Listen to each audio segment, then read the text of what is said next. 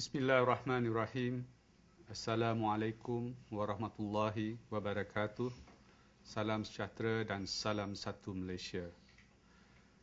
Dengan rasa penuh kesyukuran kepada Allah yang Maha Pengasih lagi Maha Penyayang, saya mengumumkan analisis keputusan peperiksaan Sijil Tinggi Agama Malaysia iaitu STAM tahun 2014 yang akan dikeluarkan serentak di seluruh di sekolah-sekolah seluruh negara mulai jam 10 pagi hari ini. Bagi calon persendirian, slip keputusan mereka akan dihantar melalui pos oleh Jabatan Pendidikan Negeri yang berkenaan. Calon juga boleh menyemak keputusan melalui sistem pesanan ringkas iaitu My SMS dan melalui portal lembaga peperiksaan di alamat www.moe.com www.gov.my lp STAM merupakan sijil yang dikeluarkan oleh Kementerian Pendidikan Malaysia dengan kerjasama Al-Azhar Al-Sharif, Republik Arab Mesir seperti yang termeterai dalam Perjanjian Persefahaman Akademik dan Kebudayaan pada tahun 1999. STAM mula dilaksanakan pada tahun 2000 dan mendapat pengiktirafan setaraf dengan sijil tinggi Persekolahan Malaysia STPM daripada Jabatan Perkhidmatan Awam. Kurikulum STAM diambil daripada Ma'had Bung'uth Al-Islamiyah Al-Azhar Mesir dan bahasa pengantar yang digunakan sepenuhnya ialah bahasa Arab.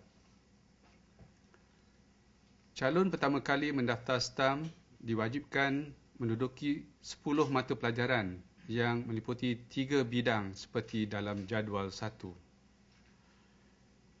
Syarat untuk calon dianugerahkan sijil STAM adalah sekurang-kurangnya memperoleh grade makbul atau lulus dalam kesemua 10 mata pelajaran yang diduduki. Pangkat sijil STAM terbahagi kepada empat. Yang tertinggi ialah Mumtaz atau Cemerlang diikuti oleh Jahid Jidan atau sangat baik, Jahid atau baik dan Makbul atau lulus. Calon yang tidak memenuhi syarat penganugerahan sijil akan hanya menerima penyata keputusan yang mencatatkan grade mata pelajaran yang lulus sahaja. Walau bagaimanapun, calon diberi peluang untuk memperbaiki keputusan mereka dengan menduduki semula mata pelajaran yang berkenaan dalam tempoh tiga tahun. Sijil STAM melayakkan calon untuk memohon mengikuti program ijazah pertama di Universiti Al-Azhar Mesir dan universiti tempatan dalam bidang yang sesuai dengan kelayakan masing-masing. Syukur Alhamdulillah, peperiksaan STAM tahun 2014 telah dapat dilaksanakan dengan lancar. Sebanyak 118 pusat peperiksaan telah disediakan yang melibatkan seramai 858 orang petugas peperiksaan untuk mentadbir peperiksaan tersebut.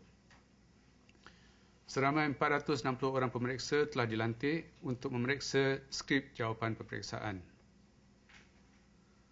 Ujian lisan telah dilaksanakan dari 7 hingga 17 Julai 2014 manakala ujian bertulis dari 13 hingga 21 Oktober 2014. Seramai 8,800 calon telah mendaftar untuk menduduki STAM pada tahun 2014 berbanding 8,613 calon pada tahun 2013 iaitu bertambah seramai 187 calon atau 2.2% dan perinciannya seperti dalam jadual 2. Daripada 8,800 calon, seramai 7,769 calon pelbagai kategori sekolah mendaftar 10 mata pelajaran dan kali pertama menduduki STAM. Seramai 1,031 calon persendirian telah mendaftar sebagai calon mengulang bagi memperbaiki keputusan mereka. Daripada jumlah tersebut, seramai 202 calon persendirian mendaftar 10 mata pelajaran. Analisis yang akan dibentangkan pada pagi ini adalah berdasarkan calon yang menduduki 10 mata pelajaran serta pertama kali menduduki STAM pada tahun 2014. Jadual 3 menunjukkan analisis pensijilan STAM mengikut pangkat pada tahun 2014 berbanding tahun 2013 bagi calon yang pertama kali menduduki STAM. Jumlah calon yang berjaya memperoleh sijil iaitu pangkat makbul atau lulus hingga mumtaz atau cemerlang bagi tahun 2014 meningkat seramai 310 calon atau 2.9% iaitu daripada 3,513 calon atau 60.4% pada tahun 2013 kepada 3,823 calon atau 63.3% pada tahun 2014. Calon yang memperoleh sijil pangkat mumtaz atau cemerlang pada tahun 2014 menurun seramai 38 calon atau 0.8% daripada 369 calon atau 6.3% pada tahun 2013 kepada 331 calon atau 5.5% pada tahun 2014. Calon yang memperoleh sijil pangkat Jayid Jidan atau sangat baik meningkat seramai 39 calon berbanding tahun 2013. Namun, dari segi peratusan menurun sebanyak 0.1% iaitu 18.8% pada tahun 2013 kepada 18.7% pada tahun ini. Kumpulan calon yang memperoleh sijil pangkat jayid atau baik dan makbul atau lulus meningkat masing-masing seramai 160 calon atau 1.6% dan 149 calon atau 2.3% berbanding tahun 2013.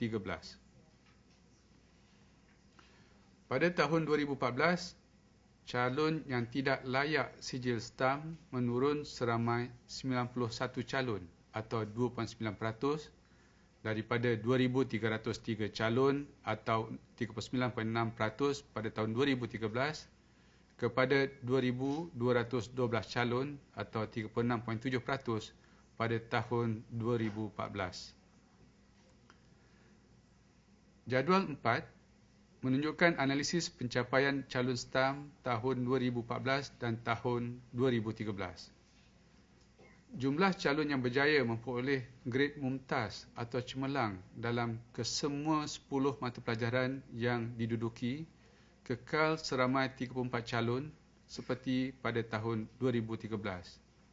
Namun, dari segi peratusan, menurun sebanyak 0.02% iaitu 0.58% pada tahun 2013 kepada 0.56% pada tahun 2014 calon yang memperoleh minimum grade makbul atau tidak termasuk semua grade mumtaz meningkat seramai 310 calon atau 2.96% daripada 3,479 calon atau 59.82% pada tahun 2013 kepada 3,789 calon atau 62.78% pada tahun 2014. Walau bagaimanapun, bilangan calon yang gagal semua mata pelajaran yang diduduki atau semua grade rasib menurun seramai 31 calon atau 0.58% daripada 101 calon atau 1.74% pada tahun 2013 kepada 70 calon atau 1.16% pada tahun 2014. Secara keseluruhan, pencapaian calon STAM tahun 2014 setanding dengan calon STAM tahun, tahun 2013 di mana indeks GPN kedua-dua tahun menunjukkan nilai yang sama iaitu 3.20 mata. Bilangan dan peratusan calon yang memperoleh grade mumtaz atau cemerlang hingga grade makbul atau lulus bagi setiap mata pelajaran untuk tahun 2014 dan tahun 2013 seperti dalam jadual 5. Empat daripada lima mata pelajaran bidang bahasa Arab mencatatkan peningkatan bilangan dan peratusan calon yang memperoleh grade mumtaz hingga grade makbul berbanding tahun 2013. Mata pelajaran tersebut termasuk Nahu dan Saraf meningkat 178 calon atau 0.1%.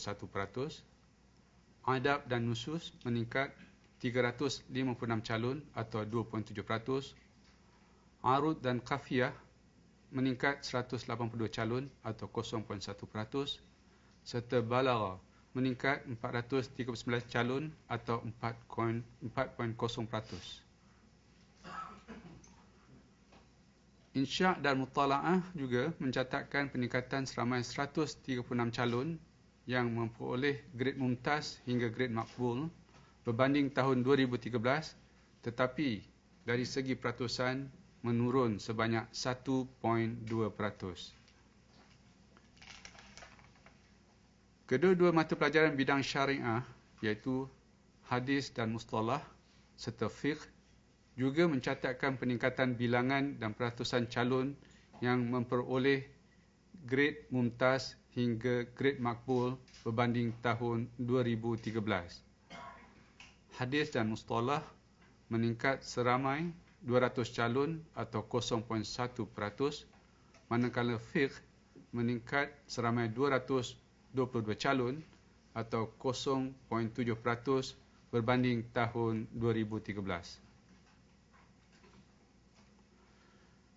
Dua daripada tiga mata pelajaran bidang Usuluddin pula mencatatkan peningkatan bilangan calon yang memperoleh grade mumtaz hingga grade makbul tetapi menurun dari segi peratusan berbanding tahun 2013. His Al-Quran dan Tajwid meningkat seramai 113 calon dengan penurunan penurunan peratusan sebanyak 1.2%. Manakala Tafsir dan Ulumuhu pula meningkat seramai 8 calon dengan penurunan sebanyak 2.6% berbanding tahun 2013. Tauhid dan mantik bukan sahaja mencatatkan peningkatan paling tinggi berbanding tahun 2013 dalam bidang Usuluddin, malah paling tinggi di antara kesemua 10 mata pelajaran yang ditawarkan, iaitu seramai 638 calon atau 8.3%. Perincian kepada analisis prestasi mata pelajaran dan grade purata mata pelajaran atau GPMP STAM tahun 2014 dan tahun 2013 seperti dalam lampiran A.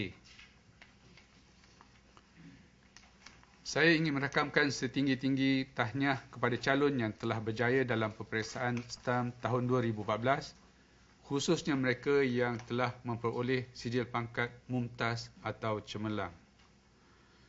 Semoga kejayaan mereka menjadi pendorong kepada calon lain untuk terus menempa kecemerlangan dalam bidang agama dan bahasa Arab. Bagi yang tidak berjaya pula, saya berharap mereka tidak akan berputus asa. Mereka berpeluang menduduki semula peperiksaan ini untuk memperbaiki pencapaian mana-mana mata pelajaran yang kurang memuaskan dalam tempoh masa yang ditetapkan iaitu tiga tahun. Saya juga merakamkan setinggi-tinggi penghargaan dan terima kasih kepada semua pihak yang menjalankan tugas dan tanggungjawab khasnya kepada pentadbir sekolah, guru, persatuan ibu bapa dan guru, badan sukarela serta pihak media masa dalam memastikan kejayaan anak kita dalam pelajaran. Saya yakin kejayaan ini adalah hasil daripada usaha dan perancangan yang rapi semua pihak yang terlibat. Akhir kata, saya mengucapkan setinggi-tinggi penghargaan, tahniah dan syabas kepada warga Kementerian Pendidikan Malaysia, khususnya Lembaga Peperiksaan, Bahagian Pengurusan Maklumat, Jabatan Pendidikan Negeri dan semua petugas peperiksaan yang terlibat dalam mengurus dan mengendalikan peperiksaan STAM tahun 2014 dengan penuh komitmen, dedikasi dan integriti. Sesungguhnya, permuafakatan dan kerjasama semua pihak turut menyumbang kepada kecemerlangan ini. Sekian, terima kasih.